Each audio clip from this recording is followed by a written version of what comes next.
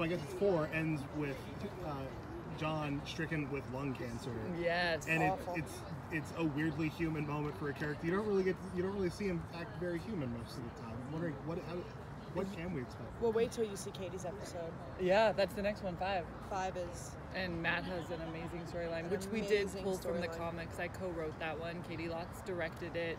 It was so fun to be on set. Caity smashed it. She did an amazing smashed it, job. yeah. She was so prepared and then so creative with the camera. It was lovely to see. But um, yeah, for Matt Ryan's character, Constantine, we wanted to give him one of the iconic storylines from the comics where he gets lung cancer and he's going to try to do everything he can in the most John Constantine type way to get out of it.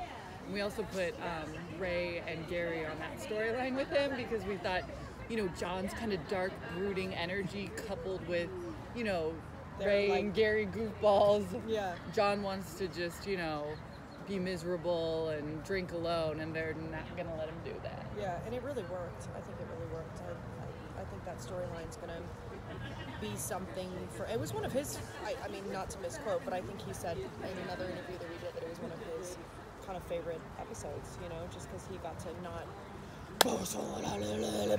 You know, he got to like, he got to just kind of be, and, and that's that's when we when any of like it was the last episode for me when I was singing on stage. I'm like, this is why I signed up for this gig, you know, like just something different. And he's so yeah, really really, brilliant in that. wrestling with mortality Yeah, yeah, and all this rich, deep character. Yeah, yeah.